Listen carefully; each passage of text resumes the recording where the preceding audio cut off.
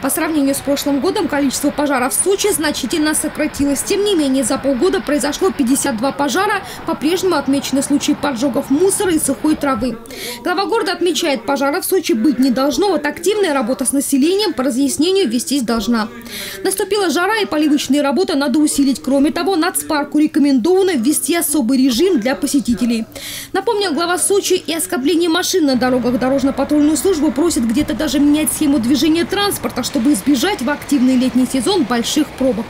За повышением эффективности работы по санитарному состоянию города будет теперь следить новое управление по организации работы административных комиссий. Сегодня был представлен руководитель управления, который также будет контролировать размещение рекламных баннеров и в целом городскую рекламу. Это Елена Ларина.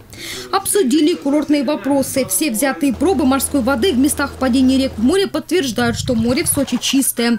Из восьми только две пробы не совсем соответствовали норме. Это в Лазаревском районе. Там также отмечена недостаточная работа в благоустройстве и оборудовании ряда пляжей, таких как Аквалао, Ивушка, Варданы, Якорная щель. Такую огромную работу, которую провели наши предприниматели Адберского района, Центрального района, это немалые деньги на пляже были потрачены. Вот. Той же Лазаревки, там замечательный самой Лазаревки пляж. Вы перечеркиваете все наши успехи, потому что о ваших пляжах говорят, что они грязные, говорят, что их там просто нет. Арендаторы пообещали исправить все недочеты и пляжные территории обустроить так, как они обустроены в Адере, Хосте и в центре Сочи. Навести порядок в Лазаревском районе предстоит и с селлингами, которые не украшают пляжи, а наоборот портят их вид. Более того, будут обустроены новые пляжи и к ним подведут дороги. К инвестиционному форуму должны быть подготовлены проекты по развитию Лазаревского района. Пусть гостинички строят, пусть аквапарки там строят, вот зубовощи. И тогда появится у людей рабочие места, тех, которые там живут. У предпринимателей, которые хотят заниматься, появится желание пляжи делать. Я объяснил, что можете отдавать эти пляжи и говорить, что там временные э, кафешки можно поставить и так дальше.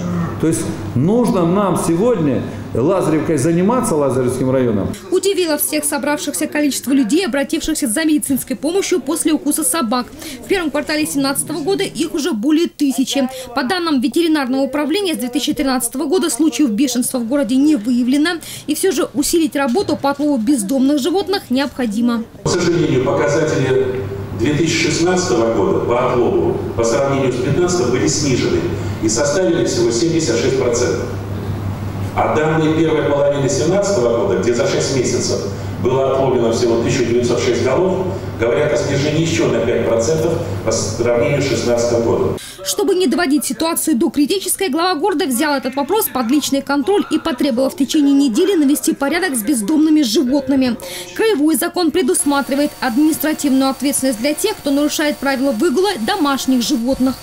Призвал Анатолий Пахомов и усилить контроль за отдыхом людей на воде. В частности, проверять постоянно те фирмы, которые предоставляют услуги на водных аттракционах и те, которые организуют джипинг.